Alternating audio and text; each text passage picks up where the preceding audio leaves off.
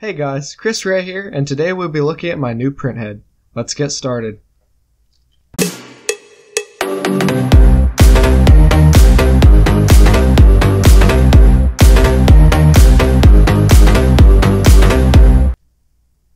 Okay guys, so let's start with why I decided to build my own printhead.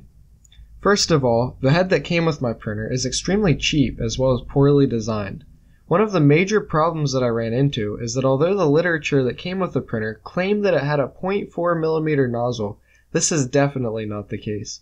This caused a great deal of work to go into calibrating, testing, and figuring out the correct print settings. After many tests, it appears that the nozzle had a diameter of about 0.25 millimeters, which although is great for fine detail, caused my prints to go horribly slow.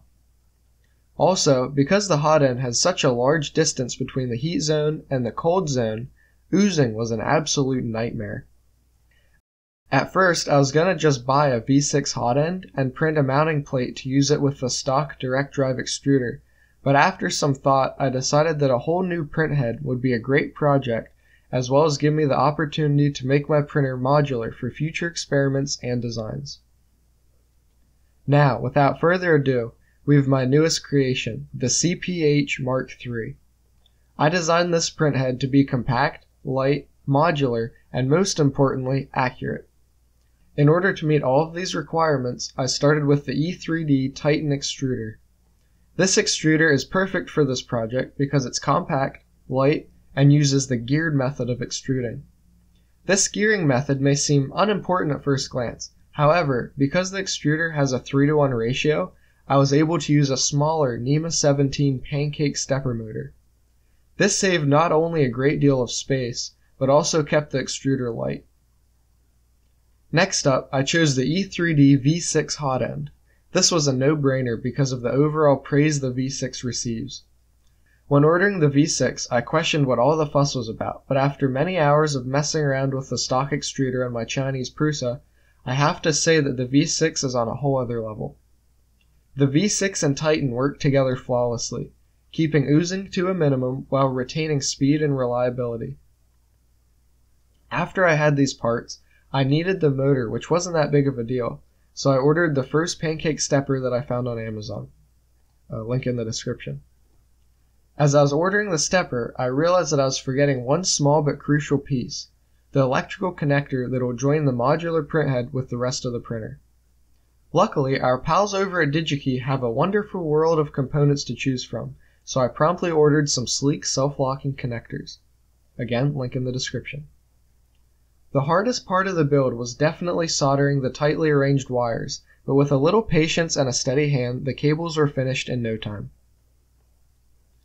With all of the major components decided on, I needed a frame to complete this printhead. At first my idea was to put the motor in the rear, nestled right against the X guide rods, similar to my Printrbot Simple's design. On further inspection, however, I noticed that the slop in the X carriage caused by the Chinese tolerances was being amplified from the nozzle hanging so far away. My next plan was to mount the motor and extruder sideways, very similar to E3D's own design. It took even less trial to see that this was not an option as I wanted to keep the original metal carriage, but the extruder gear was getting in the way. My next and final design is by far the best as well as the most odd. I figured that I tried facing the extruder straight ahead, as well as sideways, so backwards was the next evolution.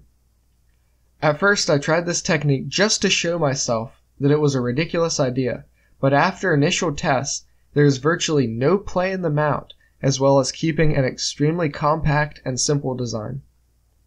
I decided to stick with this design and continued to modify it to be even lighter and more efficient. As an added bonus, I was even able to add a BL touch mount for future upgradability.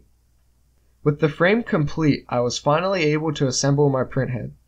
Everything was coming together without any complications, and after tripling my printer's E-steps, I was able to complete my first print without any complications.